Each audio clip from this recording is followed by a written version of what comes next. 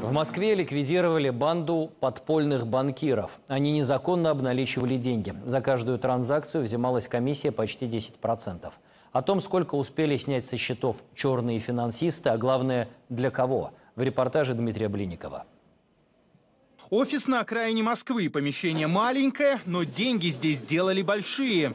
Миллион девяносто пять тысяч. В этой комнате черные банкиры обналичивали деньги. Что-то изъято было у вас? Ну да, А что именно? Компьютеры, телефоны, документы какие-то, печати, что? компьютер.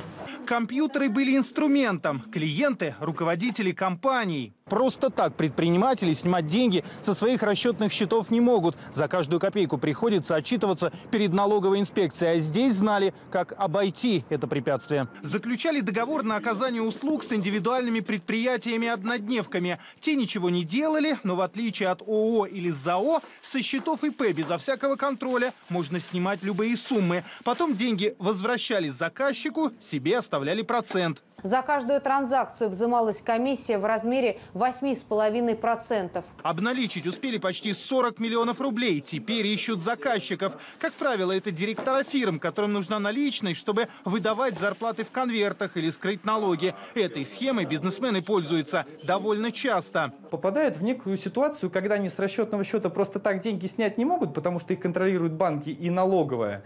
Им приходится пользоваться данными услугами, потому что просто, чтобы рассчитаться даже с поставщиками, которые принимают денежные средства только наличные. Ищут и тех, на кого оформлялись фирмы-однодневки. Это могут быть нанятые люди, но бывает, оформляют контору и без ведома человека. Мошенники не оплачивают налоги.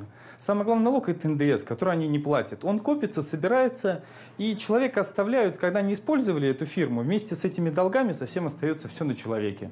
А в суды, взыскание, конфискация имущества – всем этим заканчивается, если вы стали директором данной фирмы. Пока по делу задержаны четыре человека. Им грозит 7 лет лишения свободы. Дмитрий Блиников, Егор Выжлецов, Маргарита Королева. Вести.